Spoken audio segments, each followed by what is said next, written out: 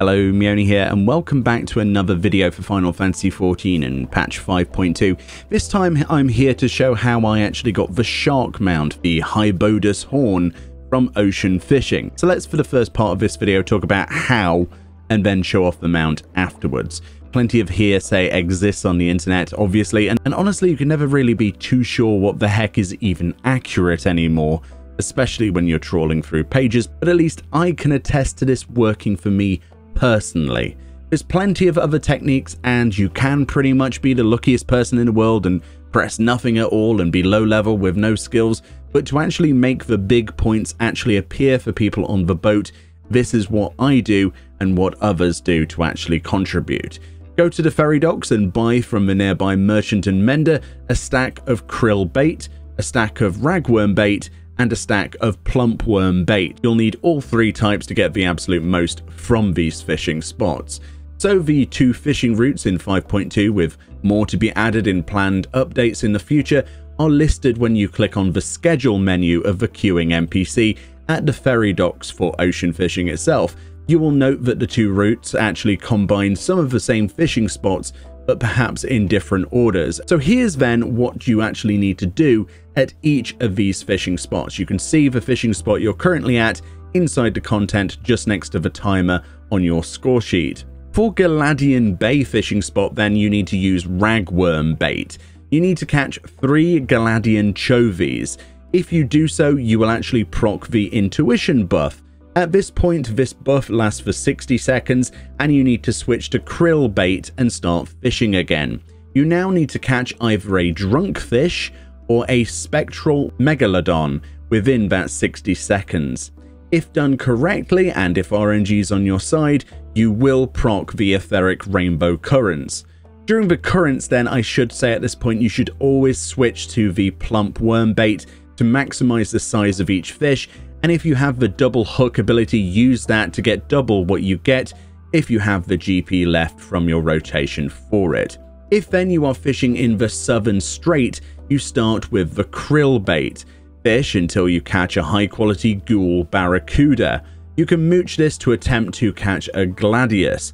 After this intuition buff is procced, switch to your plump worms and try to catch a little leviathan or a spectral discus to proc the rainbow in this area. If, however, you are fishing currently in the Rhotano Sea, start with your plump worm bait. Catch two crimson monkfish to trigger the intuition buff. Keep your plump worms equipped and try to fish up a sabaton or a spectral bass to proc the rainbow.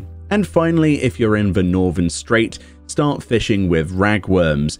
Get a high quality toss dagger and then mooch this to attempt to catch a Dinnick If you do get a Dinnick switch to plump worms and try to catch either a shooting star or a spectral Sea Bo to trigger the rainbow in this location, and that's pretty much how it's done.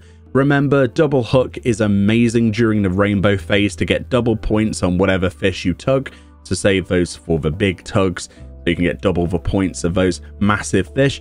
If you're a high enough level, use Patience, which is a buff that allows you to use precision and powerful hook sets instead of your real ability, depending on the size of the tug. So obviously a reminder here is that one exclamation point, you use precision hook set, or two or three exclamation points on those tugs, you use the powerful hook set, and vice versa. You need to get as close to the high 5000s as you can to actually guarantee that mount. I messed up royally in this footage as I did not empty my inventory before queuing into this content, which is a massive rookie mistake.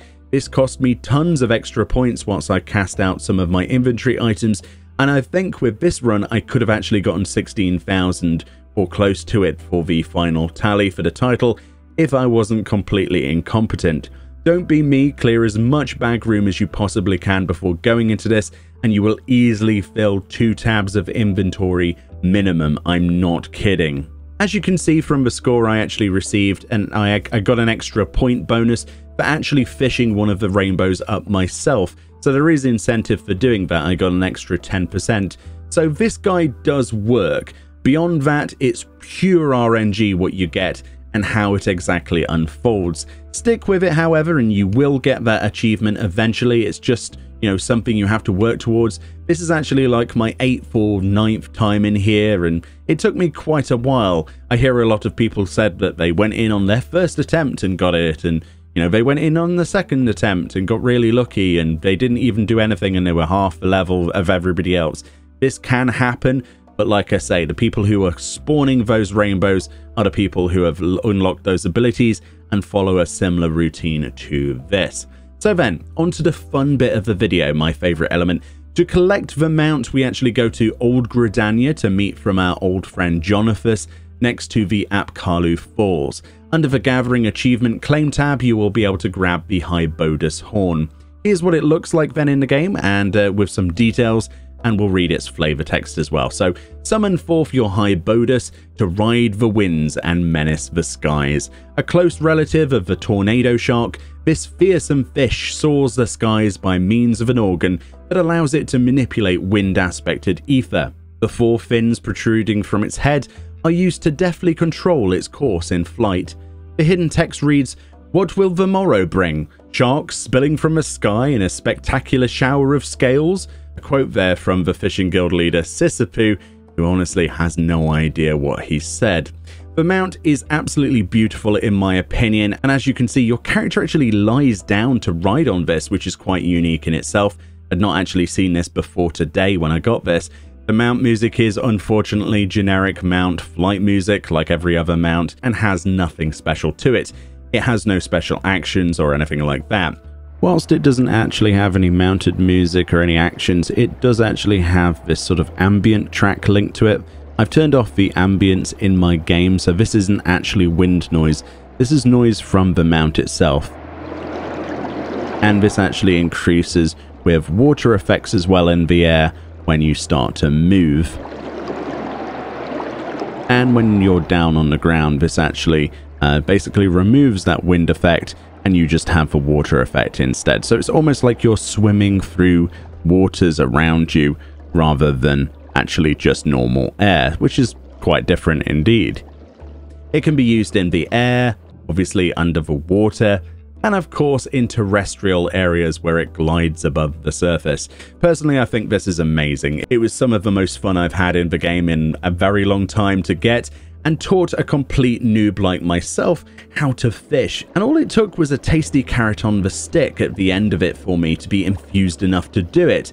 But what I actually gained was far more than just the Shark Mount and Minion. I gained a new appreciation for a side of the game that I'd not explored enough, and additionally for the people around me in the game, as we formed groups, wished each other good luck, and actively tried to work together to each do our bit to force the rainbows to actually spawn. It's one of my favorite things to do when I'm sitting around planning activities to do with my FC and friends in Discord, and I've met some really, truly great people doing it already, and uh, yeah, all I can say is definitely try it out, even if you completely hate the idea of normal fishing, because you're guaranteed to find something redeeming with this experience, I assure you. And the fact you can do it from level 1 and above just goes to show that Square Enix are making content for everyone. Thank you kindly for watching. Let me know if you managed to get your mount yet, or if you're still grinding for it. And may the sea gods ever look down or I suppose upwards generously to you and yours in your mission before you. Enjoy your weekend, and I'll see you all next time. Whatever you do, don't turn your back.